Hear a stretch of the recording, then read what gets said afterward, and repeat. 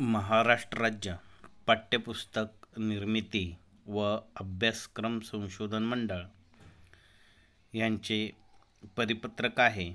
विषय पाठ्यपुस्तकातील वह्यांच्या पृष्ठांची प्रभावी वापराबाबतचे सर्वसाधारण मार्गदर्शन सूचना. शालेय वर्ष दोन हजार तेवीस चोवीससाठी महाराष्ट्र शासनाने निर्गमित केलेला शासन निर्णय दिनांक आठ मार्च दोन हजार तेवीसनुसार पाठ्यपुस्तकामध्ये वह्यांच्या पृष्ठांचा समावेश केलेला आहे. हे पृष्ठे माझी नोंद या शीर्षकाखाली देण्यात आलेली आहेत. ही सर्व पाठ्यपुस्तके इयत्ता पहिली ते आठवीपर्यंत एकात्मिक पद्धतीने चार भागात पथदर्शी स्वरूपात प्रकाशित करण्याली करण्यात आलेली आहेत.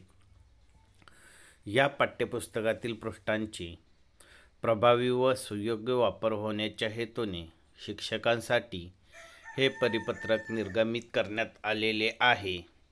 खालील सूचनांचे पालन करून शिक्षकांनी वर्गकार्यादरम्यान याकडे कटाक्षाने लक्ष द्यावे. या पानाचा वापर सर्वसाधारणपणे खालील स्वरूपात नोंदी आवश्यकतेनुसार घेण्यासाठी करता येईल. एक प्रत्येक विद्यार्थ्याची माझी नोंद यामधील नोंदी समान असण्याचा आग्रह धरूनही. दोन विद्यार्थ्यांनी तारीखवार नोंदी कराव्यात.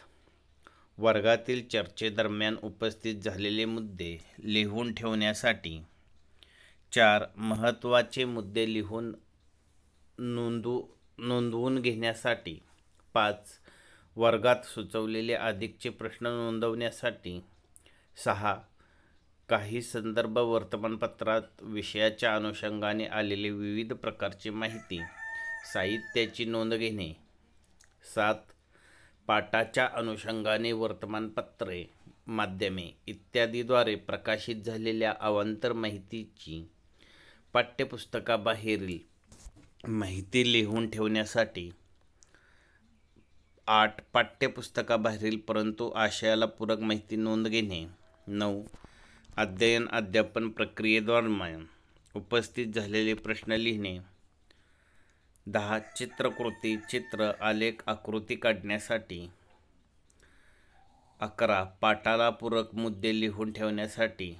बारा. कच्चे काम पेन्सिलने. सूत्रलेखन महत्त्वाचे संबोध गणित सोडवण्याची वेगळी रीत मांडणे पाडे तयार करणे पडताळणी करणे इत्यादी. तेरा नियम सूत्रे घटना संबंध घटनाक्रम आकृत्या ओघ तक्ता संकल्पना चित्र मुक्तोत्तरी प्रश्नांची नोंद तुलनात्मक नोंदी व्यावहारिक अनुभव विश्वातील उदाहरणे नाविन्यपूर्ण उपक्रमाची नोंद स्वनिर्मित उदाहरणाची नोंद.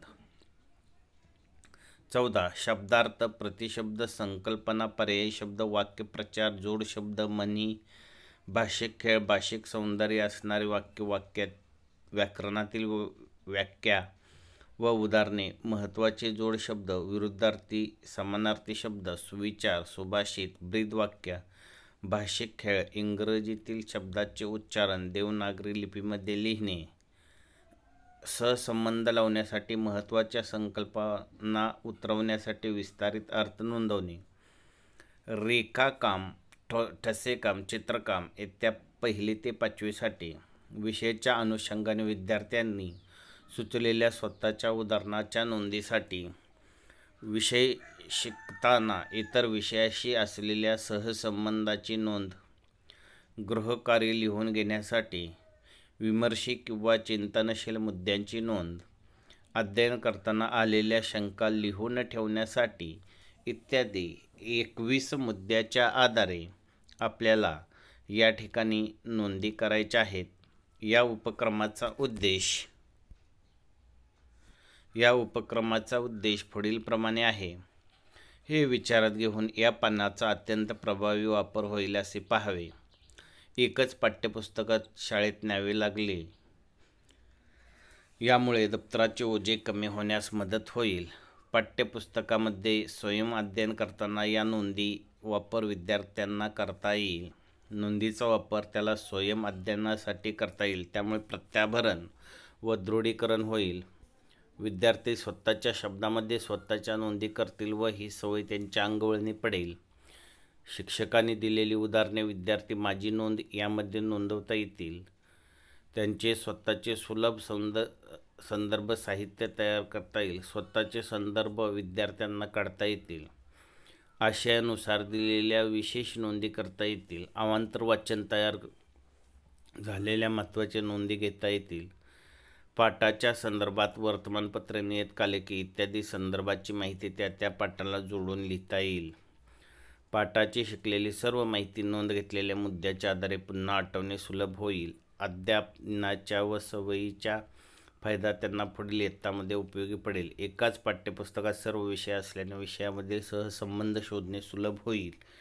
घटक चाचणी व सत्र परीक्षा या संदर्भाने नियोजन करणे सुकर होईल. पालकांना वर्गात काय शिकवले आहे हे समजेल. धन्यवाद.